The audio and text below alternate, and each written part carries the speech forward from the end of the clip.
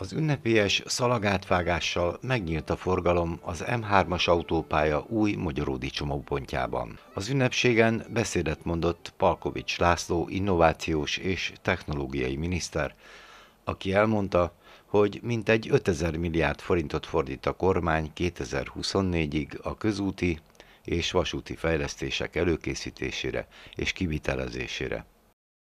A kormány által tervezett közúti beruházásokat keretbe foglaló útprogram teljes költségvetése 3200 milliárd forint, amelyből a nagyobb részt 1800 milliárd forintot a költségvetés fedez, a fennmaradó összeget adják az uniós támogatások. A magyar kormány, amikor az útfejlesztés stratégiáját kidolgozta 9 évvel ezelőtt, akkor három alapelvet határozott meg.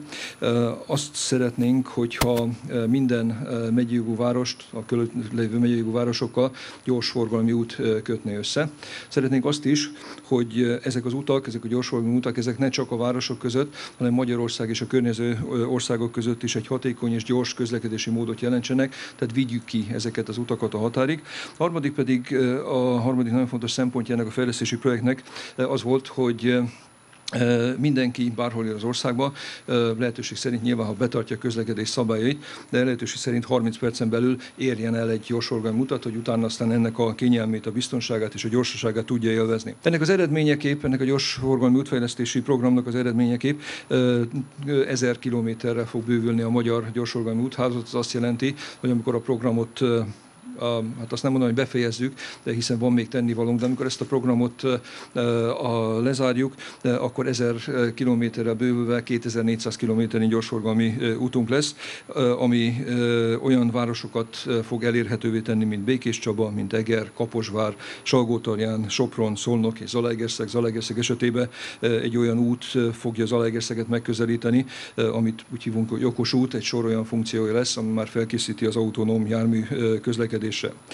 Ha megnézzük a mostani projektünket, hiszen az út önmagában még kevés lenne, az utat hozzá kell csatlakoztatni a környező infrastruktúrához, a környező településekhez.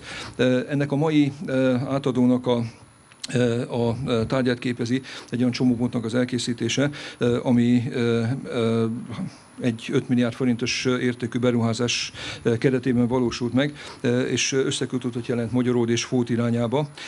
Ennek a beruházásnak köszönhetően a két település közvetlen gyorsforgalmi kapcsolatot kapott a magyar nagysebességű úthálózathoz. Természetesen a gyorsforgalmi utak előnyeit nem kell ecsetelni, lényegesen gyorsabban, közlekedés biztonság szempontjából nagyobb biztonsági szinten tudjuk elérni az úti célunkat. Természetesen a térségben nem csak ez a közlekedés fejlesztési projekt zárult le, hanem további jelentős projektek is haladnak mind a közút, mind a vasút területén.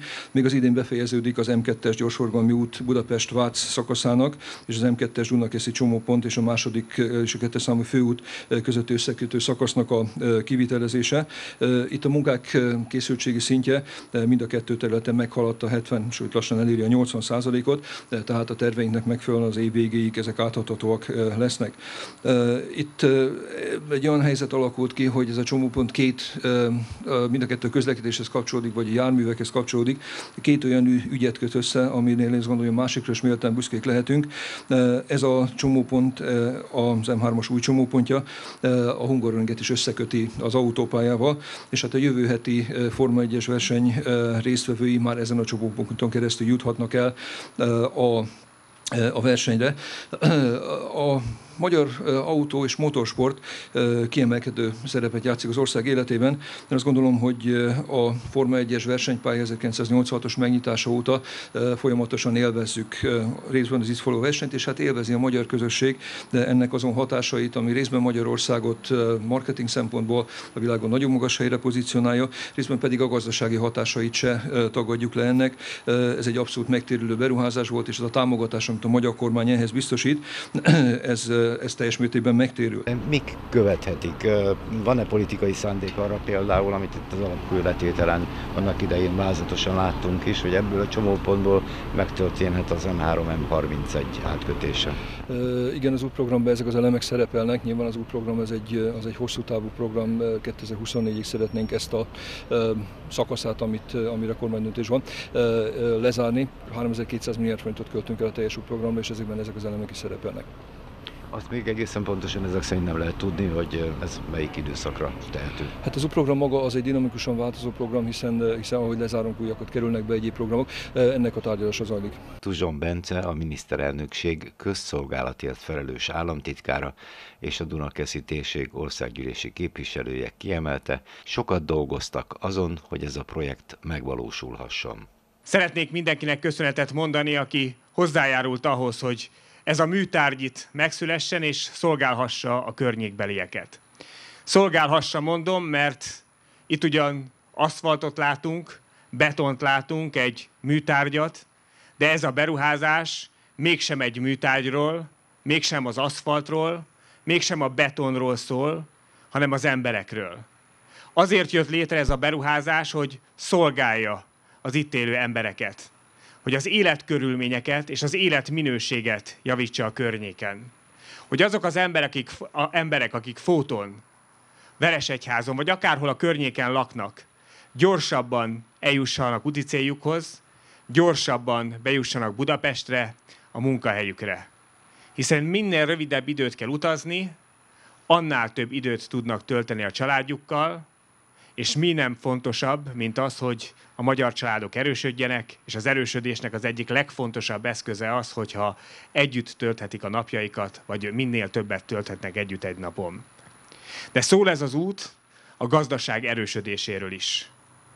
Ahhoz, hogy egy területen a versenyképesség növekedjen, az elérhetőségnek is nőni kell, az elő, elérhetőségnek is könnyebbé kell válni. Magyarodnak egy óriási lépés, amit most ez a csomópont jelképesen még csak megad, mert ez még folytatódni fog az M3, tehát a 3-as út és az M31-es felé, ami azt gondolom a térségnek, magának a, a itt lévő település részeknek a fejlődését nagyban fogja szolgálni, mert megnyitnak olyan ipari és gazdasági területeket itt a környékünkön, mint Magyaródnak, mint Kerebesnek, amit ennek az útnak a meglétével nélkül nem lehetne elérni.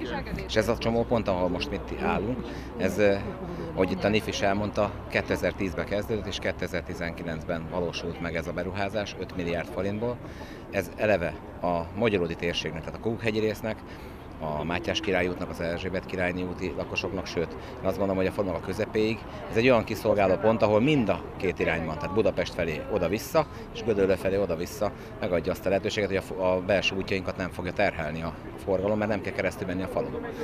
És ez az iparterületek feltárása mellett egy óriási lehetőséget biztosít a falunak, hogy mi nagyon komoly fejlesztések elé tudjunk nézni a mögöttem lévő csomópont után lévő 26 hektárnyi gazdasági övezetre már most is tízessél vannak érdeklődőink, akik szeretnének beruházni, és az út megadta azt a lehetőséget, hogy ezt meg is lehet könnyedén közvetíteni. Úgyhogy az autópályáról a második olyan lehajtó vagyunk, ahol van közel 40 hektárnyi gazdasági övezet. Bécsei László Pest megye hatos számú választókerületének országgyűlési képviselője hangsúlyozta, az átadó ünnepség jelentős a térség közlekedés fejlesztésének történetében. Nem szabad elfeledkeznünk arról, hogy 1990-ben több évtizedes lemaradással vágtunk neki a remélt európai színvonalhoz vezető útnak. Az M3-as, az M31-es, az M0-as, az M2-es autópályán a kettes és a hármas számú főutakon zajló folyamatos építések, bővítések, korszerűsítések ellenére térségünk úthálózatára egyre nagyobb nyomás nehezedik. És ezen a tényen, ezen az a tény sem változtat, hogy a közúti fejlesztésekkel párhuzamosan kötött pályás fejlesztések is zajlanak. Választókerületünket, a hatost is érinti például a Budapest 60 vasútvonal korszerűsítése. A mérleg másik serpenyőjében ugyanis nem kevésbé fajsúlyos tényeket találunk. Egyébként nagyon örömteli tényeket, hiszen azt látjuk, hogy a környék településeinek lélekszáma megtöbbszöröződött, a térség gazdasági potenciálja töretlenül nő. Az utóbbi évtizedben, az utóbbi tíz évben pedig a reálértéken mért lakossági vásárlóerő növekedése nyomán úgy a személygépkocsi állomány, mint az építő és termelő, kereskedelmi ágazatok között közúti fuvareszköz állománya a többszörösére nőtt.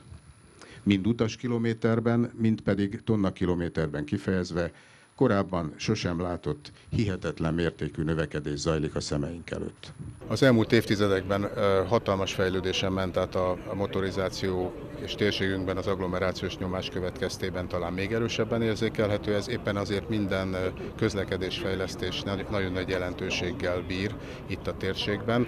Tudjuk, hogy a 60 vasútvonal korszerűsítése zajlik, tehát a vasútpálya korszerűsítés az, az folyamatban van. Nagyon szépen halad, közúti fejlesztések pedig a térségben szintén vannak. Ezeknek az egyik legjelentősebbje, amit a mai átadáson a közszolgálatára bocsátottunk, ez az M3-as teljes értékű Magyaródi csomópontja.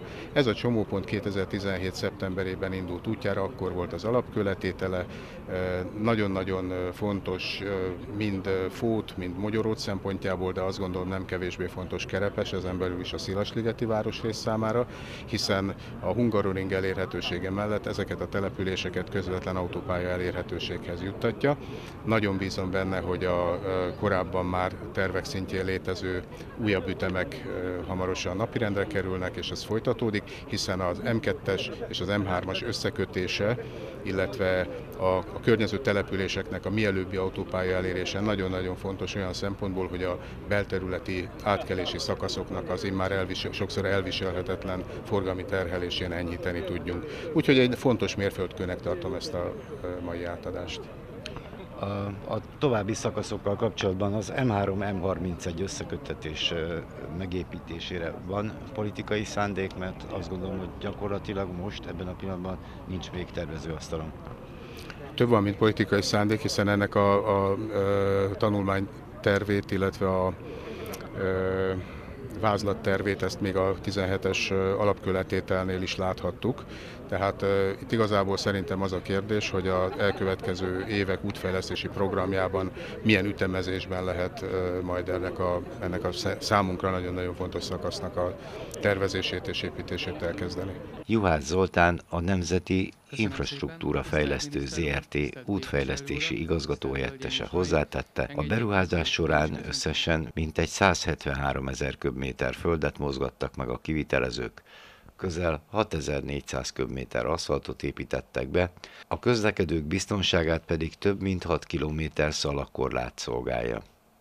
A fejlesztés az Innovációs és Technológiai Minisztérium megbízásából, uniós és hazai forrás felhasználásával a NIF Nemzeti Infrastruktúra Fejlesztő ZRT beruházásában valósult meg. Elhangzott a beruházás keretében másfél kilométer hosszan, kétszer egysávos, új nyomvonalú út épült az M3-as autópálya és a Magyaródott Fottal összekötő 2101-es út között. A kivitelezéshez kapcsolódóan összesen négy körforgalmi csomópontot alakítottak ki az M3-as autópálya déli és északi oldalán, az M3-as autópálya és a 2101-es út közötti szakasz közepén, valamint a záró csomópontban.